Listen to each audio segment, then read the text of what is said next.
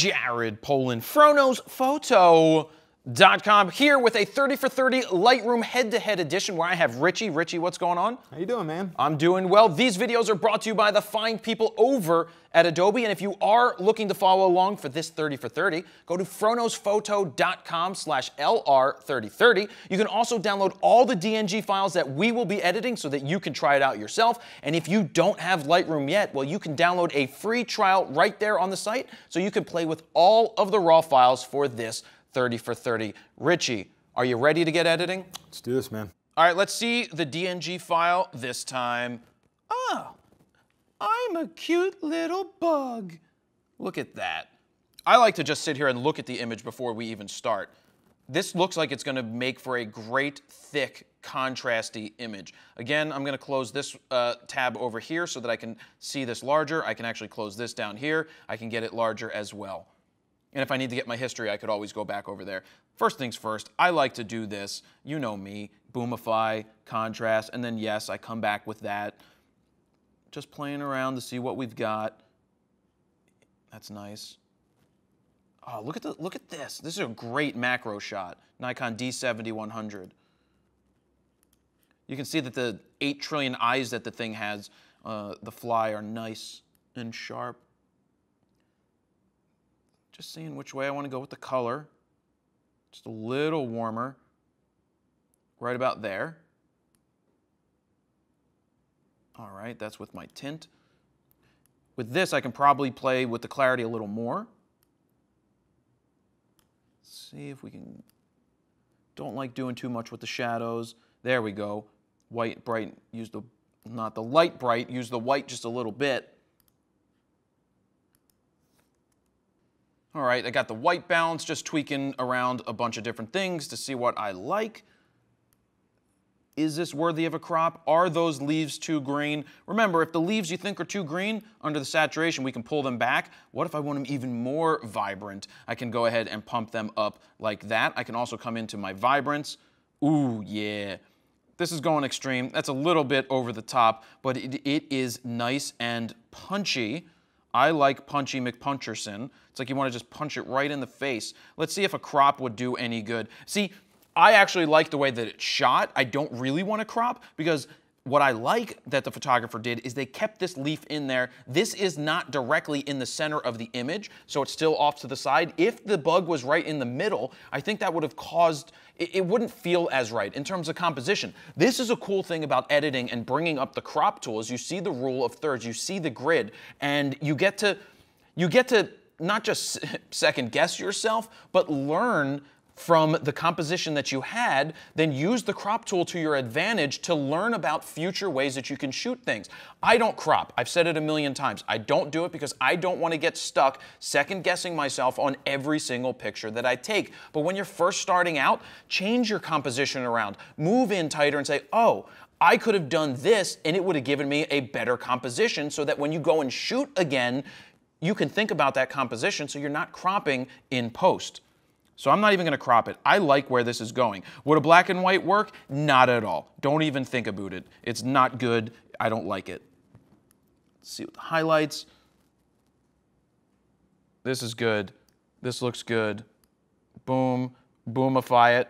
Let's go back and see where we were initially. Using my history to go back. Wow, look how flat it was. And then let's see what it is right now. And boom. Super cool. I like this edit. I'm curious to see your guys' edit as well. Don't forget you can download this DNG file and all of the others from the 30 for 30, but let's see how Richie is making out. All right, let's check this out. Oh, cool. That is super pretty. What are we gonna do with this guy? All right, let's get right into it. Develop module. All right, right off the bat, I'm just gonna get ahead I'm gonna pump up the exposure a little bit one of the cool little shortcuts you can do whenever you're highlighted over anything is shift up goes up 0.1, shift down goes up or goes down 0.1. So that's a nice little tidbit if you're a keyboard user like I am and you, you end up shift tabbing around. We're just gonna pump the highlights up just a hair. We're gonna pull shadow. Actually, let's open the shadows up. We're gonna go the opposite on this. We're gonna crunch the blacks back down. I want to keep some of those shadows. So we're gonna do that. We're gonna open our whites up a little bit. Let's crunch it down a little bit. We're gonna get strong contrast on that. And then we're gonna go ahead and just pull our darks back just a little bit and open them back up in shadows to crunch them back in clarity. So here we go, we got clarity. Now it's getting a little bit too crunchy for my liking. Starting to look a little bit oversaturated and a little bit over contrasty. I liked how, how muted the tones were in the raw file compared to where it is now. So we're just gonna re-put contrast there. And we're gonna get down, we're gonna throw a little vignette on this. Make the midpoint nice and small so it's a nice gradiated vignette. Just your eye goes straight into it. And we're actually gonna crop part of this out over here on the left side of the frame. We press the R key, that goes in the quick crop. I'm gonna keep the original dimensions. I'm just gonna bring it down there. I'm gonna put it right in the center. And you'll notice we have that little bit of dirt up there in the top right from the, uh, not actual dirt, but from where we cropped. So we're just gonna go ahead and puncture that out.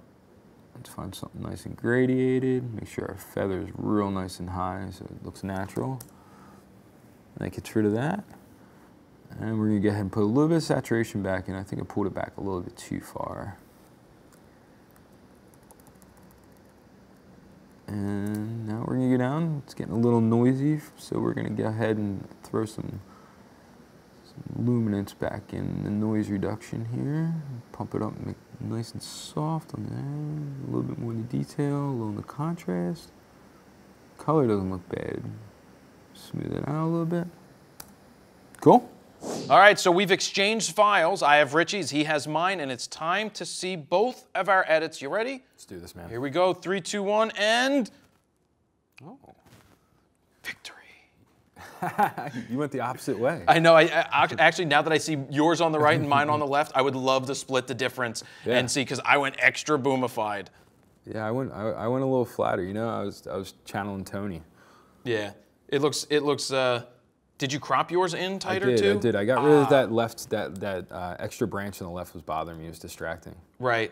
And then yeah, I mean yours is almost lacking all contrast whatsoever. Yeah, I, I really flattened it. I opened up the, the midtones a lot just to get a little more details so you can see like on his legs, like the, the little hairs and stuff. Oh, you can see the little hairs on his leg. Yeah, it says.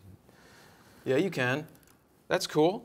That looks interesting. I like yours though. I, it's it's it's very dynamic looking with that extra contrast and the saturation just like coming at you. Yeah, part part of the reason I did that, and I talked about it with my edit, was you can, with people, vibrance and saturation doesn't quite work. Right. Because you can over they start to get all glowy. Right. And and that doesn't work. Well, glowy, the wrong type of glowy. And in this case, with a bug, with a with a fly, you can pretty much do anything. And then I brought up the greens. I was like, I want more green, and so I pumped those up, but not too far. No, it looks good, man. Right. So th- this is again the thing with raw editing. Richie went muted, I went boomified, somewhere in between may be better, or it may not be. That's why you can go download this DNG file yourself and try your hand at it. How would you edit it? Who do you think wins this one, Jared or Richie? Leave a comment down below.